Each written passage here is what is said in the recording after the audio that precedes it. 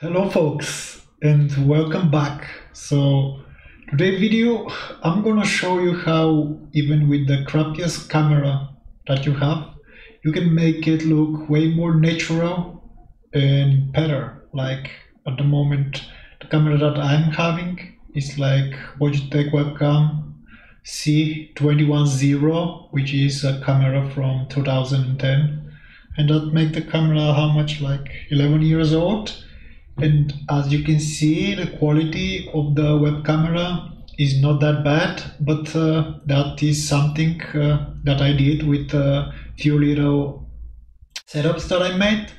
Uh, I'll show you the specification of the web camera. It's 1.3 megapixels USB uh, 2.0 and this is the pixels uh, 640480 pixels which is pretty bad very low quality uh, for today's standards as you notice. But even that uh, the video that is coming out from this camera look pretty good to me. Uh, according of course for the settings that the camera have it's not high-end. So anyone can improve uh, his camera uh, the way it's looking. Uh, so you can use it in teams or Zoom or Discord or Skype, whatever. So you can have like a better video coming from your end.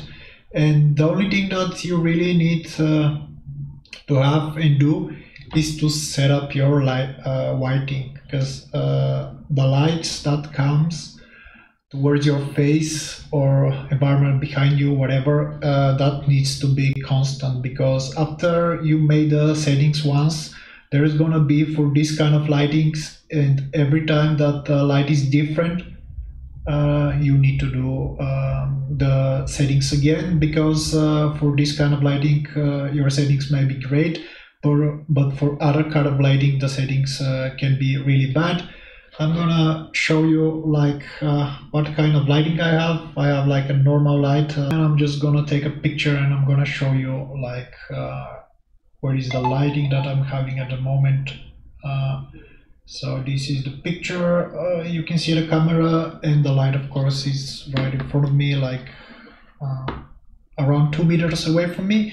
So this is the quality that I get uh, that I'm happy with it. Um, this is after I did the settings but now I'm gonna show you how it's looking like uh, when there is no settings from the camera and just default camera settings so here, these are the standard settings as you can see.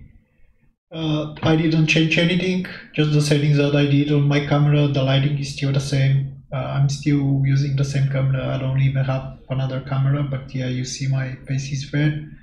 Here on the, whatever it is, uh, right side behind me, uh, the bed is kind of out of frame mm, because the lighting, I guess, is not coming towards it, so it's pretty bad I'm all red, like somebody beat me up or something. I don't know.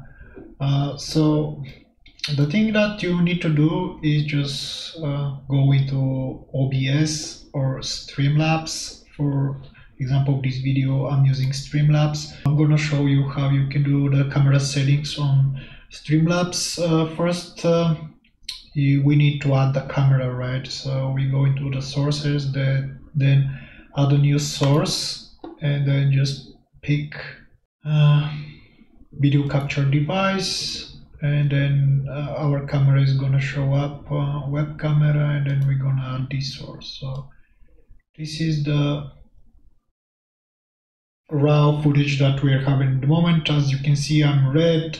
The colors are not quite right. Um, my face is not uh, you cannot uh, see good my face so the quality is not that good at the moment uh, even though this camera as I said is pretty cheap uh, we can get way better quality. So the first thing that we need to do is go into our source that we just had webcam for example. Uh, then we go into properties. And after that uh, here you can see the max resolution that this camera have. And then we go into configure video and we're gonna see panel that is coming up. Uh, depending what kind of camera you have like it's loading my Logitech web camera. So we go into advanced settings and here everything is like the program is doing herself. So that's why we look like this. So we're just gonna turn off everything and with few little um, things that we're gonna do we're gonna look way better first. As I said we're looking kinda like not good because the lighting is not showing our face so we need to be a bit more brighter. So from here we're gonna add a bit brightness and from here we can add even a bit more but we're gonna go like this. Then on white balance this is a place where we can hide our red face. So when we go into the light balance we're just gonna put it a bit back. And there now we have like a normal color skin. And we're not red anymore. Uh, the picture behind us is way more clear. Uh, from the brightness if we want we can make ourselves a bit more uh, bright but think something like this is enough contrast you know what it's doing. So we're gonna go just a slide more uh, color intensity. If we go more to the right uh, it's gonna bring more color but the quality is going bad so we're just gonna turn it back down a bit. Uh, if we go all the way left uh, we are like um, black and light uh, but we are living in what is it 21st century or so so we definitely want some colors so we're gonna add that uh, and there you go. And uh, that's it with just these few easy steps. We're looking way better uh, that we was looking with the normal camera settings. Uh, if we want to add virtual camera to any device that we are using as I said Discord, Zoom, Teams, whatever all we have to do is just go down left uh, uh, and then virtual web camera uh, and usually uh, the virtual web camera button is gonna be like this so you need to start your own virtual web camera. We're gonna start the, the web camera and we're gonna start for example what? We're gonna start uh, zoom. New meeting and the zoom is loading uh, and we're gonna go OBS camera and we're gonna start it. Uh, since the Zoom meeting is picking virtual camera like from your whole screen, all you have to do is just make sure you put this all the way up. Uh, Alright, so after you start Zoom, uh, you're gonna see the normal program panel. Uh, we're just gonna go, for example, new meeting. Uh, the program we're gonna start loading. Uh, we're gonna have to choose the OBS camera. This is because after we make our virtual background camera, uh, that's how it's uh, we can choose it, like it's OBS camera. Uh, of course, we can do the normal stuff on Zoom meeting, like choose virtual background. Uh, we can go here and just pick or add some pictures that we want. We can even put a green screen and made a green screen for our screens or our videos. I already have a video about that. Uh, you can check it in the video description. So this is how you add your virtual camera. It's working like any normal camera.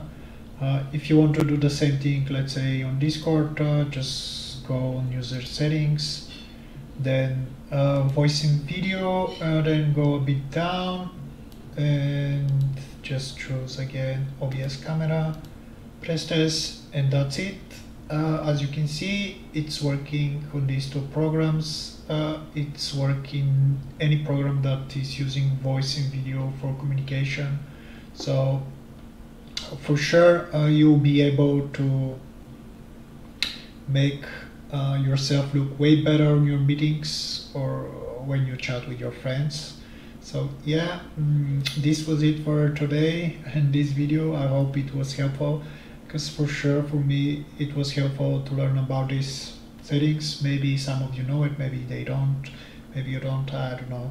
But yeah, uh, please uh, take care and uh, have a good one.